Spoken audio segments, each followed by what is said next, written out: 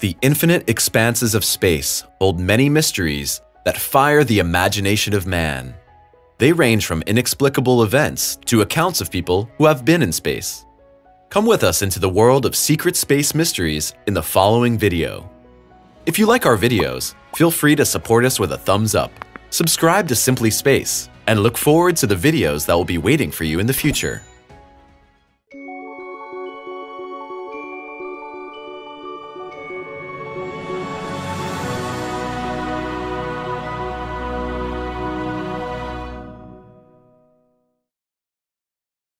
Tesla and UFOs. Nikola Tesla, born in 1856, had a lasting influence on the course of history with his inventions.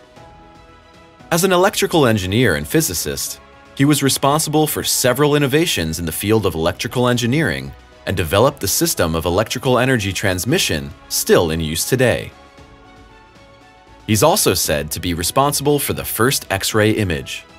However, the image was the result of an accidental photograph he took of the writer Mark Twain. In 1899, Tesla believed he had contact with extraterrestrials after hearing rhythmic noises through his radio receiver that he believed to be of extraterrestrial origin. When asked about the greatest possible achievement of the coming century, Tesla replied that he had already achieved that by receiving the message from extraterrestrials. These incidents, together with his inventions, which were among the most significant of their time, stylized Tesla into a mysterious cult figure. TON 618 Black Hole That black holes can assume huge dimensions is well known. A particularly large supermassive black hole is found at TON 618. The quasar was first mentioned in 1957 during a study of stars. It is a distant, brightly shining quasar that is home to a black hole 66 million times the mass of our Sun. Researchers suspect that TON 618 is an accretion disk around a supermassive black hole in the center of a galaxy. It cannot be seen from the Earth because the quasar's light is as bright as 140 trillion suns, outshining the galaxy.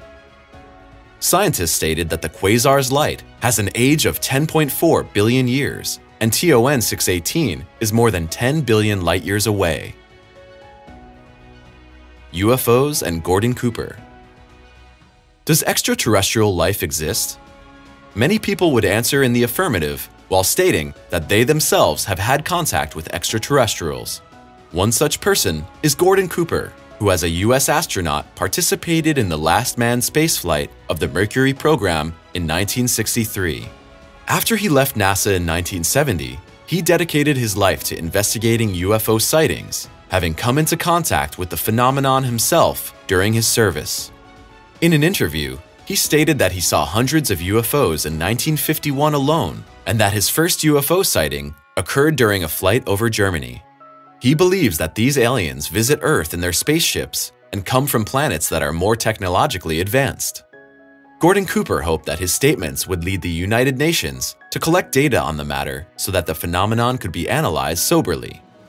Cooper accused the government of covering up its knowledge of extraterrestrial occurrences and called for a top-level program to figure out the best way to contact the visitors. Gordon Cooper died in 2007 and is not the only former astronaut who was convinced of the existence of extraterrestrial life. UFOs and Vladimir Kovalyonok. Russian cosmonaut Vladimir Kovalyonok was part of the crew of the Salyut 6 mission in 1981 when looking out of the spacecraft, he spotted an object that defied the laws of physics. The ellipse-shaped object was flying with the space capsule and appeared to be rotating in the direction of flight. At first, it flew straight up to some kind of explosion that shone with golden light. About two seconds later, another explosion followed and two more objects appeared, glowing beautifully. Just before crossing the day-night boundary, Kovalyonok could see white smoke. After dipping from South Africa into the night sky over the Indian Ocean, the UFOs had disappeared. At a press conference after his return to Earth, Vladimir Kovalyonok reported the object was the size of a finger, and he expressed surprise at having made the observation in Earth orbit. Mysterious Signals For more than a decade, short radio signals have caused excitement among researchers. These high-energy radio waves from distant parts of the cosmos have the energy of millions of stars for a brief moment and then disappear within a fraction of a second. So far, the origin of these mysterious signals is unclear and science is at a loss.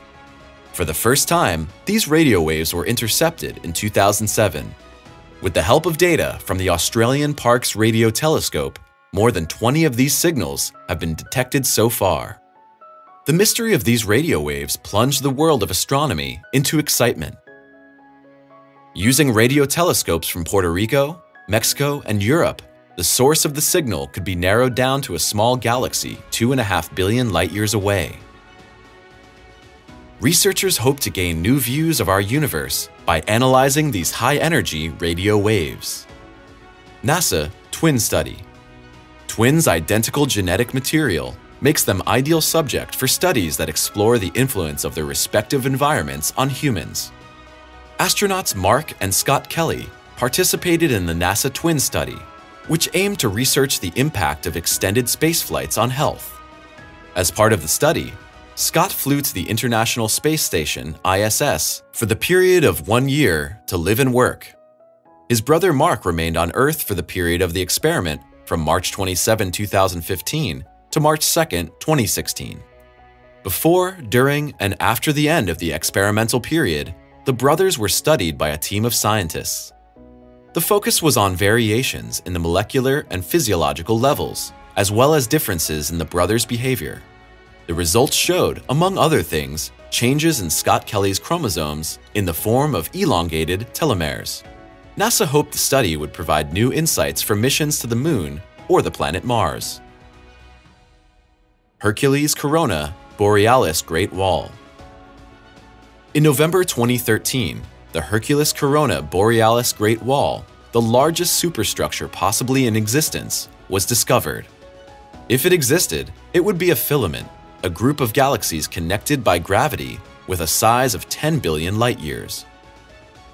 This superstructure would be twice the size of the previous record holder and would be the most massive structure in the known universe. 2008 TC3 Researchers and amateur astronomers keep an eye on the sky to discover celestial bodies. Particularly frightening is the idea that a giant asteroid could be discovered that could wipe out all life on Earth, as it did with the extinction of the dinosaurs. For the asteroid 2008 TC3, the collision with the Earth could be calculated in advance for the first time. The fiery tail of 2008 TC3 lit up the night sky above Sudan on October 7, 2008. After entering the Earth's atmosphere, the asteroid with a diameter of 3 to 4 meters broke apart explosively and the fragments of the meteorite crashed to the ground in the Nubian desert.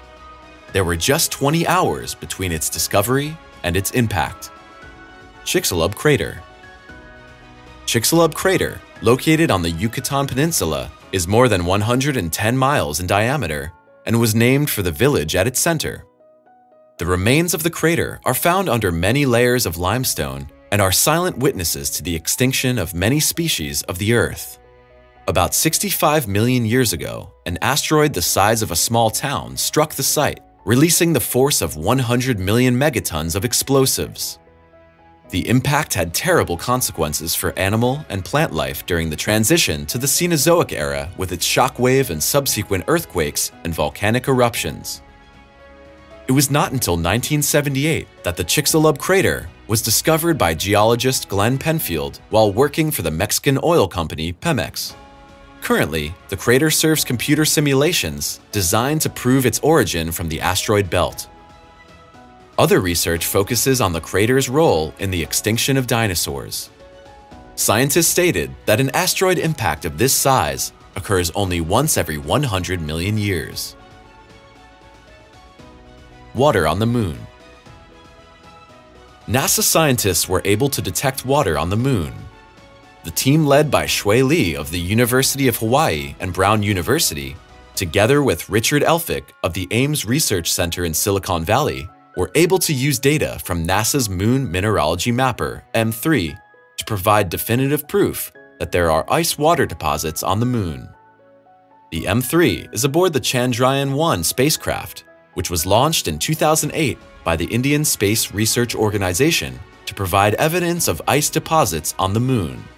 Not only were reflections of the ice captured, but measurements were also made of how the molecules of the ice absorb infrared light. This makes it possible to distinguish between liquid water and ice. The deposits are located in the coldest and darkest parts of the Moon's polar regions. At the North Pole, ice is found widely scattered, and at the South Pole, ice deposits are limited to the lunar craters. In these regions, temperatures never rise above negative 155 degrees Celsius. The reason lies in the Moon's axial rotation, which ensures that no sunlight reaches the ice surfaces. Scientists hope to harness the ice in future missions, and maybe even make it possible to establish a base on the Moon to access the water beneath its surface.